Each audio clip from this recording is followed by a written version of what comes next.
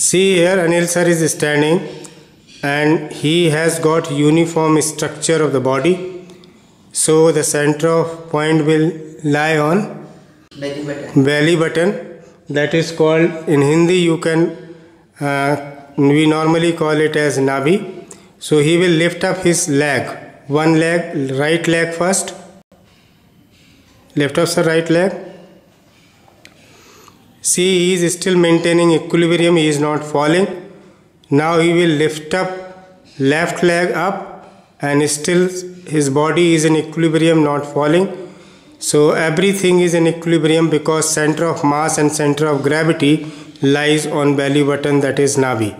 Now I will show you how the center of mass and center of gravity shifts. In the next portion I will ask Anil sir to stick one portion of the body with the wall completely head also sir now my point is sir please try to move up remove your leg left hand leg left leg from the ground left left sir Not able to do it. stick your entire left hand part yes now now move your left leg up. You can't move, I promise.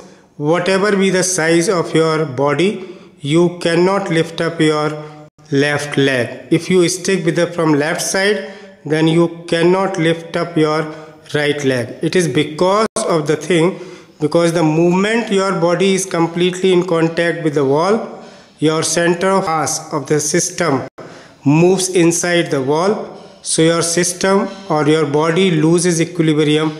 You cannot move your other free part of the body at all. That's what is a simple experiment on center of mass and center of gravity